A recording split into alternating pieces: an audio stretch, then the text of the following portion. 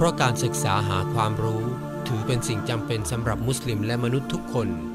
และการแสวงหาค้นคว้า คือจุดเริ่มต้นของความสำเร็จ แต่ความแตกต่างเป็นประตูสู่โลกแห่งความหลากหลาย กว่าทศวรรษที่เราเน้นการเรียนการสอนวิชาชีวิต ควบคู่กับการเรียนการสอนสาขาวิชาต่างๆ มหาวิทยาลัยอิสลามยะลา เป็นมหาวิทยาลัยอิสลามเอกชนแห่งเดียวในประเทศไทย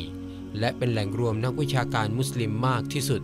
ไม่ว่าจะเป็นนักศึกษาหรือบุคลากรทุกคน ล้วนมีโอกาสได้พบปะกับผู้บริหารทุกวัน โดยมีมัสยิดเป็นศูนย์กลาง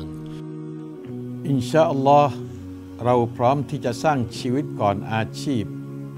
และเรามั่นใจว่าด้วยยุทธศาสตร์นี้เราจะสามารถขับเคลื่อนสังคมไปสู่สันติภาพที่แท้จริง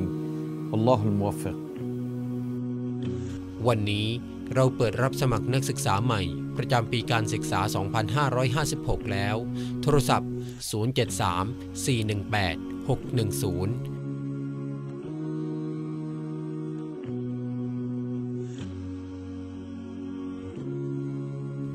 มหาวิทยาลัยอิสลามยะลา อุทยานแห่งการเรียนรู้ สู่สังคมคุณธรรม